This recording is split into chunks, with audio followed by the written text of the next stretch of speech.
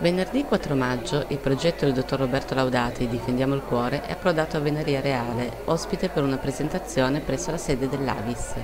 Grazie, grazie agli amici di Venaria, grazie all'Avis che mi ha permesso di presentare questo mio progetto questa sera e grazie a tutti gli intervenuti che si sono dimostrati molto interessati a mantenere il loro stato di salute e quindi ad un progetto di prevenzione. Per salvaguardare il nostro cuore, in poche parole, cosa bisogna fare? Mangiare meglio e fare attività fisica sostanzialmente, poi possiamo avere aiuto da integratori alimentari, da particolari accorgimenti, però il punto base è sempre quello, migliorare la nostra alimentazione e evitare di essere sedentari. Il dottor Laudati sarà di nuovo ospite a Veneria per la solidarietà.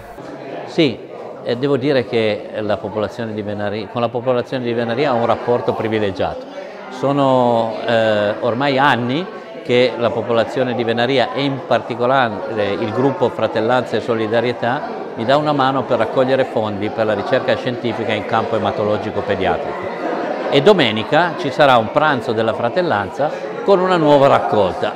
Porteremo anche i bambini del Regina Margherita e sarà un'occasione per farli stare in allegria almeno per una giornata. Eh, io sto con il Regina e la Onlus che eh, gestisce questi fondi e li dà eh, direttamente all'università, in particolare ai laboratori universitari dell'ematologia pediatrica del Regina Margherita. Vogliamo ricordare il sito di Difendiamo il Cuore?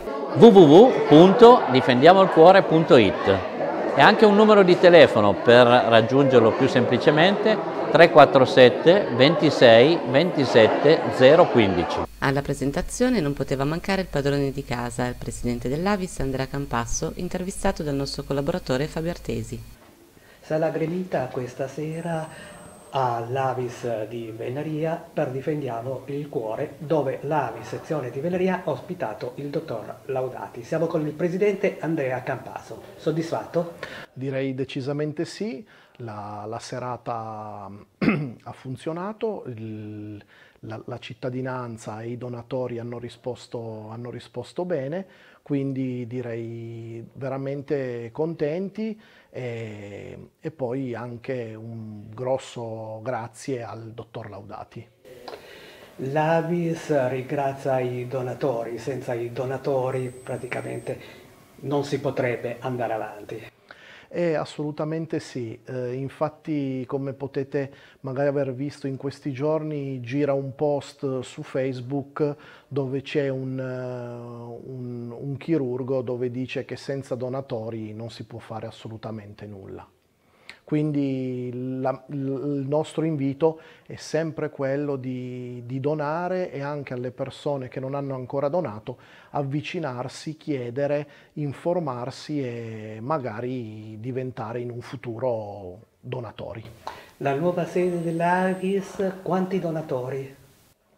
Allora, lo scorso anno abbiamo chiuso con, 800, con oltre 800 donazioni per quanto riguarda il 2017 e siamo in, eh, direi, buona crescita per quanto riguarda il 2018. Un po' in controtendenza con eh, il dato nazionale che va leggermente in diminuendo. La sede dell'Avis è una sede rinnovata Assolutamente sì, rinnovata e spesso e volentieri ci tengo a sottolineare al passo coi tempi. Al passo coi tempi perché abbiamo anche possibilità di collegarsi wifi, abbiamo anche i maxi schermi eh, per vedere dei video mentre si aspetta per la donazione e ci tengo a, a ricordare che la prossima donazione sarà venerdì 25 maggio che è proprio lo stesso giorno dove il Giro d'Italia partirà da Venaria Reale. Quindi nella stessa giornata, nella stessa mattinata, noi qui avremo il prelievo di, di sangue. Presidente, ci apre le porte del laboratorio? Assolutamente sì.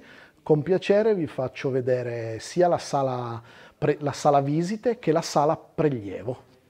Qui come potete vedere è la sala, la sala visite dove c'è il medico, quindi chiunque debba donare o semplicemente fare degli esami deve obbligatoriamente fare un colloquio con, con il medico che ne dà l'idoneità all'eventuale esame o donazione. Dopodiché ci spostiamo invece nell'altra sala, che è la sala prelievo, dove ci sono i, i lettini e si effettua quella che è la vera e propria donazione. Questa è la sala prelievi, ci sono i, i quattro lettini comandati elettronicamente, quindi con l'opportunità di essere eventualmente, se il donatore non dovesse sentirsi bene, eccetera, ha l'opportunità di, di sollevare le gambe e si può donare in quattro contemporaneamente, tutti nella stessa, nella stessa sala.